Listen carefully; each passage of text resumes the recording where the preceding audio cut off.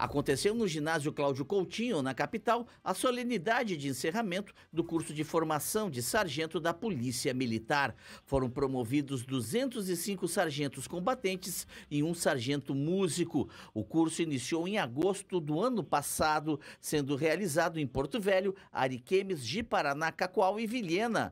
O curso teve duração de oito meses na modalidade à distância. Hoje nós temos aqui a formação de 202 policiais militares que eram cabos da Polícia Militar e foram formados a sargentos, serão sargentos a partir de agora. O que, que significa isso? Significa que o governador está fazendo a carreira prosperar. Então, quando se tem sargento na polícia, é sinal que o policial prosperou.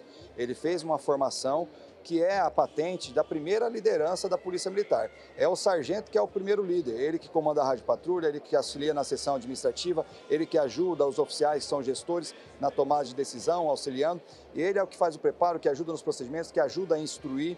Então, é a formação do primeiro líder na Polícia Militar. É uma patente muito importante para a Polícia Militar e para a sociedade. Houve também homenagem a dois policiais que faleceram durante o decorrer do curso, o Cabo Helder e a Cabo Kerdes, que foram homenageados pela Polícia Militar com placas entregues a seus familiares.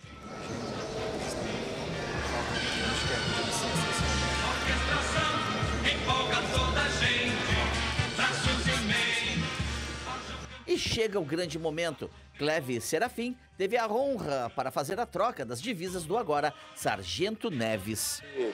Por incrível que pareça, a primeira coisa que eu aprendi a falar quando eu sonhava em ser locutor foi gloriosa Polícia Militar, porque o meu irmão foi militar. E ele falou, Zé, se um dia você for radialista, quando você referir a Polícia Militar, chame-a de gloriosa Polícia Militar. Para mim hoje é uma honra dobrado com muita emoção. Foi difícil, muito estudo, tive que me dedicar, às vezes deixar o momento de lazer para me dedicar ao estudo, né? Graças a Deus deu certo. Nossos lagos, nossos rios, nossas matas, tudo enfim.